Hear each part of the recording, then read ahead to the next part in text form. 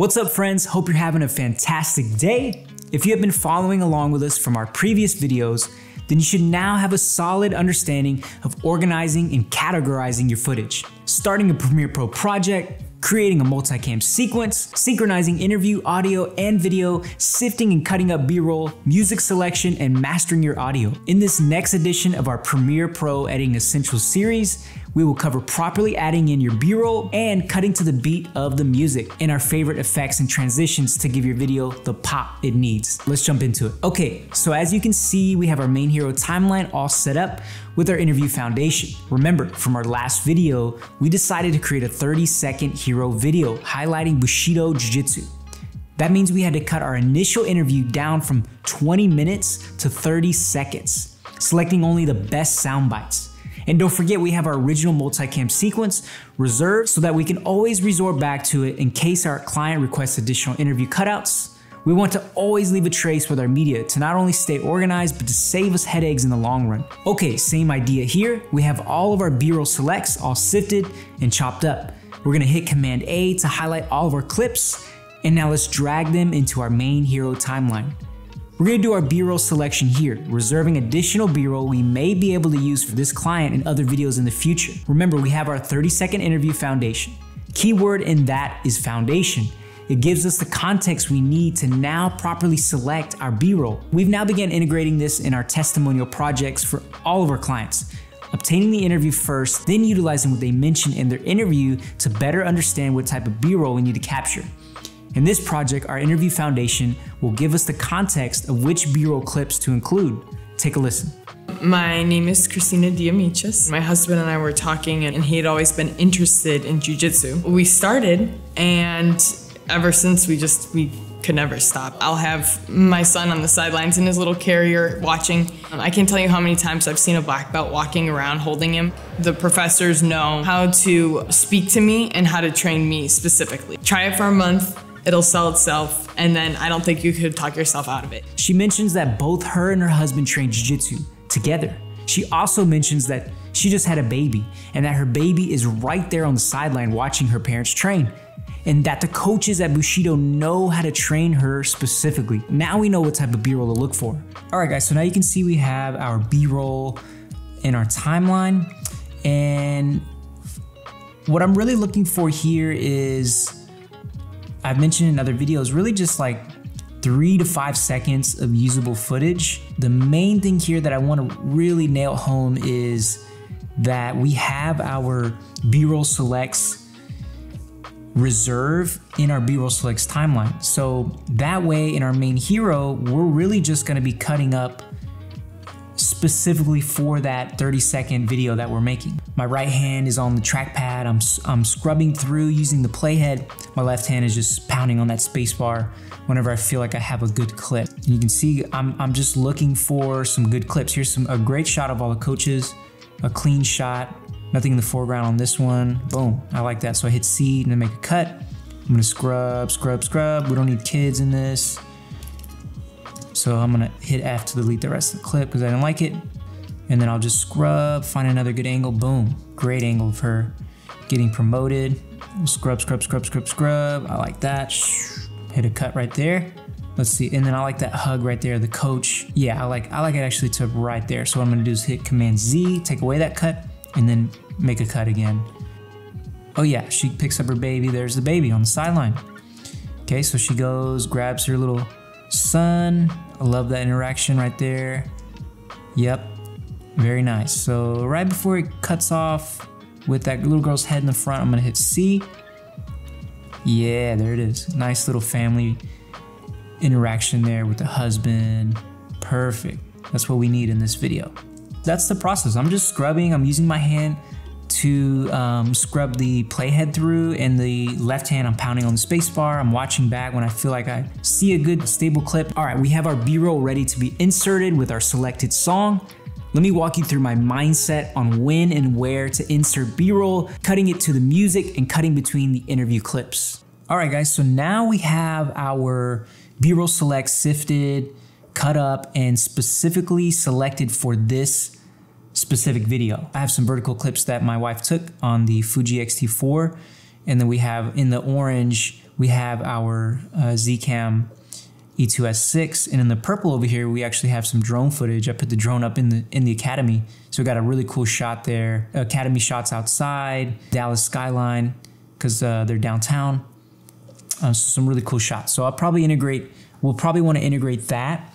And as I'm creating out my timeline now, Remember, we have our song, we have our audio mastered, we have our base color grade on our multicam sequence, and we have our multicam sequence chopped and cut up and switched to different cam angles and our adjustment layer on top is, is the base color grade. So now we're gonna add in and we're gonna start to piece together this video.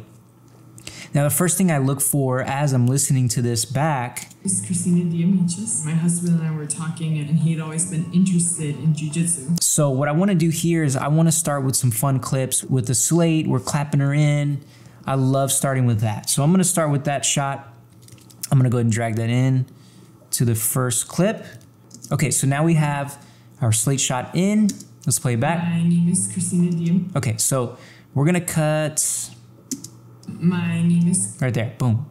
So we're gonna make it uh, really fast. This is a fast-paced video, so all of the cuts are gonna be really quick. My name is. Okay, and then from there, as a transition piece, I don't want to go from Sladen and then go right to her at the jiu-jitsu gym. We're giving her her an introduction with Slate. We're showing her right away.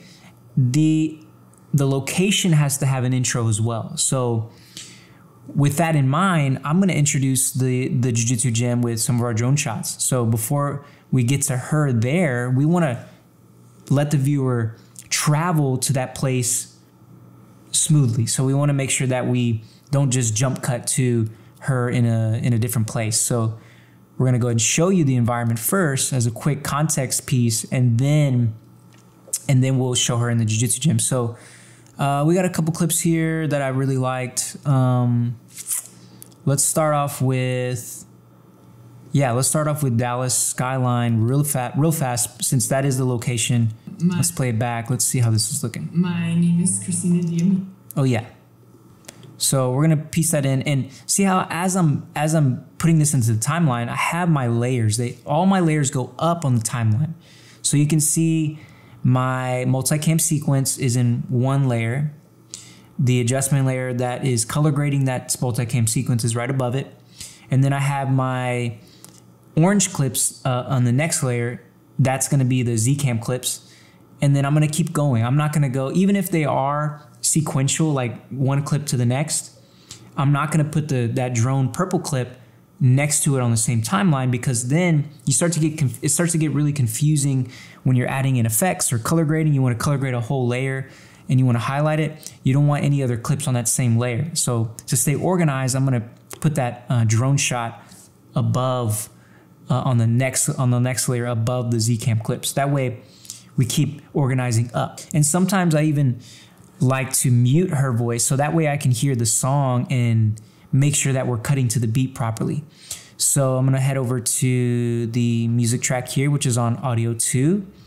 And I'm gonna hit, you can either hit solo track or you can mute the, the audio above it. So that's this, this here is gonna be her, her audio. So you can just mute it um, or you could have just hit a solo track on this one. Either way, uh, a solo track helps a lot when there's a lot of other things you wanna mute. Maybe there's her voice, other sound effects, tons of other things underneath it, and you want to just play the music, then you'll hit solo track. So probably good practice just to hit go to go to the song track and just hit solo. All right, so now we're gonna only hear the music. Let's play back.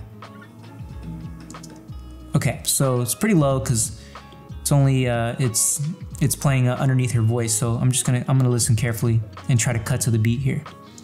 I'll try to turn up for you guys. Okay. It's already pretty decent if you can hear the beat. All right, so I'm gonna cut, I think this middle clip can cut a little bit quicker. Even the first clip, let's, let's go crazy. Let's cut it fast. Boom, right there. On that first beat, we're gonna cut it. Okay, so we have our B-roll nicely integrated with our interview foundation. Let's talk through our most commonly used effects and transitions to bring some flavor to these clips. Warp Stabilizer. Typically with Premiere, you can't use this effect with a clip that looks like it was shot on a roller coaster, but if it has a little shake to it, it will usually work. With our style, we like to gradually add things in, give it a little kiss. So when we add in our warp stabilizer, we're gonna drop it to about 10% to give it a nice, stable, but still organic feel. You don't want anything to feel too robotic or fake. Speed ramps. This will be a heavily used transition, especially with a fast-paced testimonial video like this one. It's a good way to bridge together clips and keep a nice flow going throughout your video. But just like anything in life, use in moderation. You don't want to use this in between every clip as it may become jarring to the viewer. Let's apply it to these two clips. Select the clip on the right and head over to the effects control panel. Under speed, toggle this drop down and now you should see a line representing the selected clip. This little diamond shape icon we will use to make keyframes on our clip to create our speed ramp. Let's place the first keyframe where we want our ramp to begin. Let's start right here. Now when I raise this line up, it will increase the speed of the clip beginning from the keyframe to the end. And it's really a creative choice on how much speed you want here. If you want a really fast transition, crank it up to something like 500%. If you just want to bring it back to normal speed, so from 24 frames per second to its original speed of 60 frames per second, then crank it to 250%. If you do the math, 250 times 0.24, which is our timeline frame rate, brings you back to 60. The speed amount is your creative choice. For fast-paced videos, I like to crank mine to around 400%. Now do the same to the adjacent clip. Move the playhead a few frames into the clip to give the transition some time, add in a keyframe and match the speed that you used in the other clip into this one. So I'm gonna crank this up to 400%. Now add in your ramps to make this a smooth transition. Click on this little icon and drag it to where you see fit. I'll leave it right there. Same thing on the other clip. Now let's play it back. Looks awesome. Now keep in mind you can't apply a speed ramp to a clip that has warp stabilizer to it. So the workaround is to nest the clip to be able to apply a speed ramp on a warp stabilized clip. Nesting is essentially creating an additional sequence with any selected clip that you want to nest. So for example, if you have a bunch of effects on top of one specific clip, you can highlight all of those effects, right click, hit nest. On my keyboard I have this set to N, then give it a name. And as you can see, these clips have flattened out to one layer. And if I double click this green clip, you can see all of the effects that I nested. So it's a great organizational tool and it also creates a clean slate for any one specific clip. And that's how we're gonna use it here.